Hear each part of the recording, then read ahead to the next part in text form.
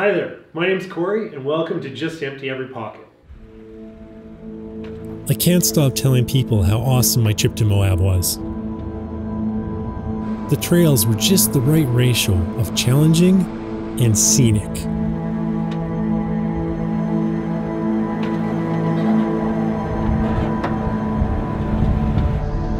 One of the constants here on every single trail in Moab was wind. On my very first day there, while airing up, said wind taught me a valuable lesson that I will never forget. The wind got hold of it and shot my hood back. Fortunately, there wasn't too much damage. There's a little crease in my hood. But in today's video, I'm going to show you how to stop this from happening ever again.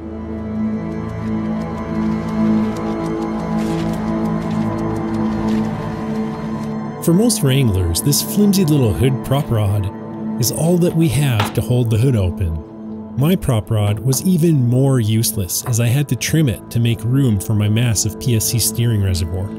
There are quite a few companies that make hood struts for the JK, including Rugged Ridge, but I'm so sick to death of their shit quality that I decided to go with a different brand, Rival. The kit from Rival Off-Road has everything you need to perform this install quickly and with minimal tools. The best part about these struts is just like me, they are made in Germany. The kit leverages factory mounts and holes to attach the various included parts. Ja, dat ding kriegt alles voor goed, ja. We start the installation with the lower mounts. All we had to do was remove two bolts and pop off a pair of wire harnesses. The factory bolts seem to be just long enough.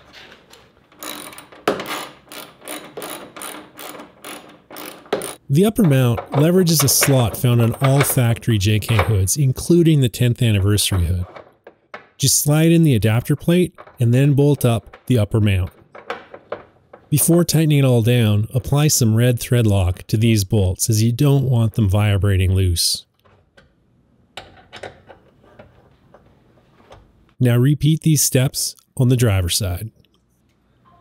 If you happen to have an underhood compressor mount like I do, be sure to mount the lower hood strut mount underneath the compressor mount. This will ensure that both sides of the hood strut assembly are squared up and level. Next up, prep the struts by compressing and decompressing them five times each. Now they're ready to be popped into place. This is the final step. Now this angle does seem to be just a tick shallower than when I was using one of these because you can see it doesn't quite go anymore. But at the end of the day, that's pretty minor. I can still get at my oil filter. I can still do any work I need to do under the engine. And worst case scenario, just pop those off, push it back. But the best part is now this hood isn't going anywhere when I'm airing up. Even in windy conditions, I don't have to worry about it. It is gonna take some getting used to because yeah, I've had this thing for like 12 years. So yeah, it's definitely gonna take some getting used to having a slightly more modern hood for the first time ever.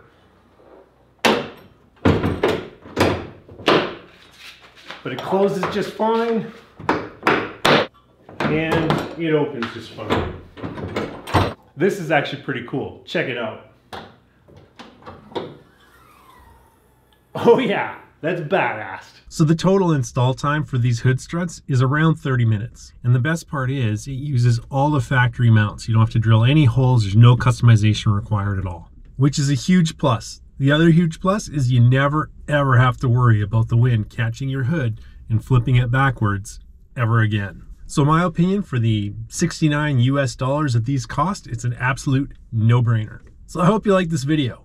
If you did, like it, share it, comment on it, and don't forget to subscribe. As for me, I'm out of here.